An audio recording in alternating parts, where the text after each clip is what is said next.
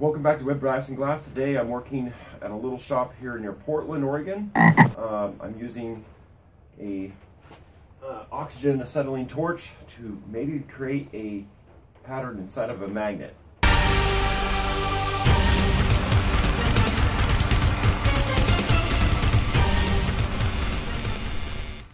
We're going to do a rectangular magnet, one inch by two inch by quarter inch thickness.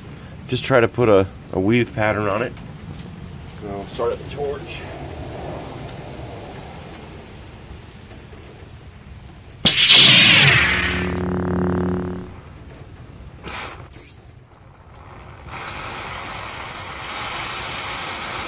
There's nothing.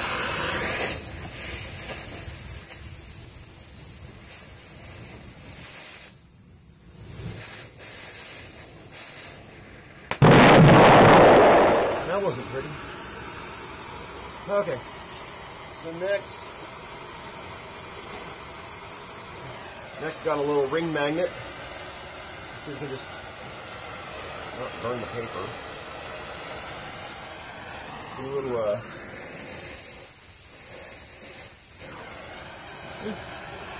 that's good enough. And let's see. Just touch the edge. Touch the edge here. Do one here.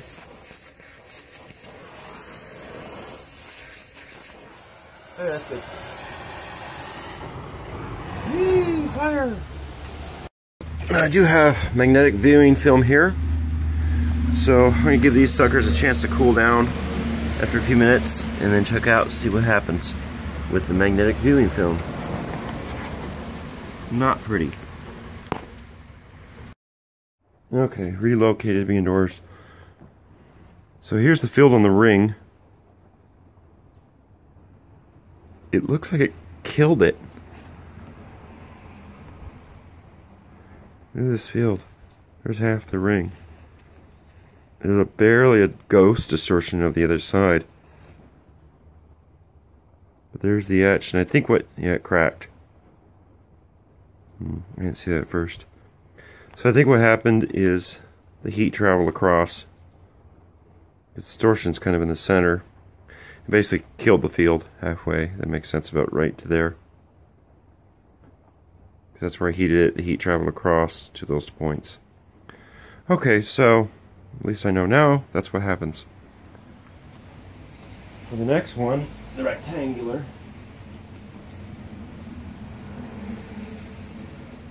So here's the next one, the rectangular guy. Lightly hit it and it came out in pieces and yeah, pretty much the piece that fragmented off was the piece that still has the field. So can't really draw designs into a magnet with a flame. It's just too hot. Seeing that that flame was around 3,000 degrees or so, maybe. You can kind of have a light distortion there. It didn't crack there, but the field ended there, so interesting. You can see that point right here. Okay. I hit it right right there. So let's see. I think that's the side. Big blotch. I must not have hit it long enough. There's not really anything on here.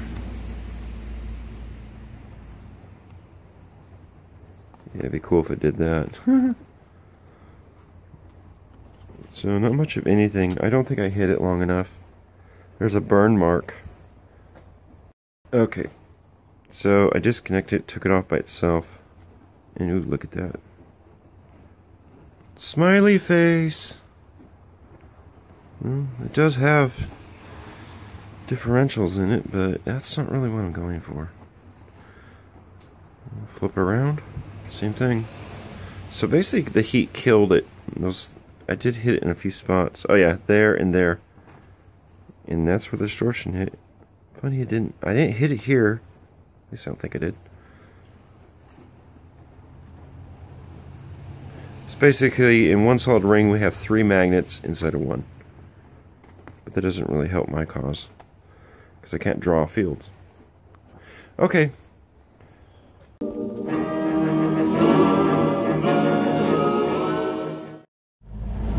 So what I learned today with using the torch to try to create a custom field inside the three magnets is that it's, at least the way I'm doing it, ain't gonna work at all. I could blotch out large areas on those magnets as you saw, but being able to create a nice, clean, defined, tight line, then it's just not gonna happen. Um, so I'm just gonna continue on with experimenting. I think what'll work pretty well is the electromagnetizer and the shaped jigs on the magnets. Um, the other thing I thought is on the bigger arc sections for the SEG generator is to use a EDM wire cutter. Uh, can easily cut through neodymium. It has an accuracy of 0.0005 microns. That's pretty accurate. Uh, pretty darn accurate. So I'll probably hook up with a guy that has one and maybe go that direction. Um, possibly. I'll do the electromagnetizer first once I get all the electrical equipment going and uh, purchased and ordered, and arrives, hook up.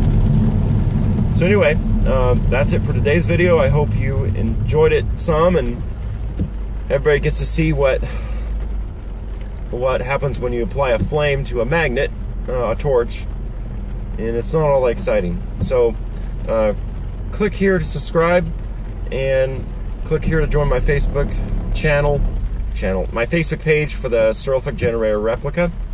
And we'll see you guys in the next video. God bless. Take care.